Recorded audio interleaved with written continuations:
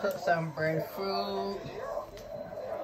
Breadfruit for food. I really didn't get smashed sugar because my hand hurting me, my shoulder hurting me, right? And between my uh, shoulder, I pull it so I really couldn't smash it so good. Uh, so that's how it come out with some um, lamb stew.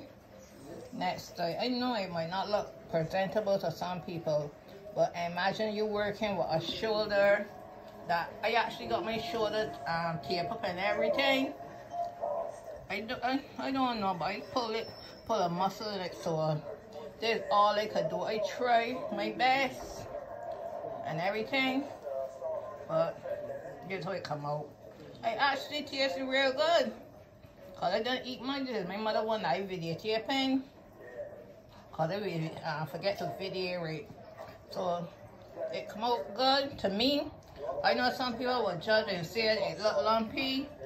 But remember I said, right, that my shoulder is hurt. I am right-handed, so my right hand hurt. I could barely hold anything in my right hand. So this is the best that I can do. It tastes real good, guys.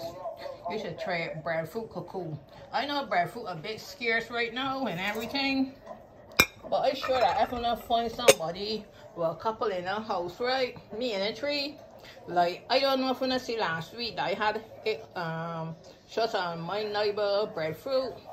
When I could do that, they just ask for one or two. Don't go and check the people breadfruit. Ask for them or buy them and try. Tastes very good.